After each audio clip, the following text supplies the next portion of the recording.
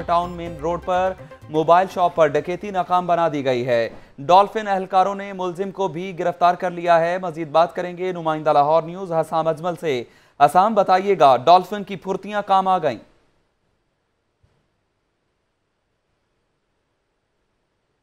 पकड़ लिए हैं और डॉल्फिन वालों का ही कहना है कि ये चोरी करने आए थे डाका मारने और हमने इनको रंगे हाथों पकड़ लिया है। और दो थे ये मोबाइल डकेत और डॉल्फिन की बरवक कार्रवाई से जो है वो इनको पकड़ लिया गया है। जी। ठीक है, हसाम अजमल, आपने अपडेट किया, आपका शुक्रिया।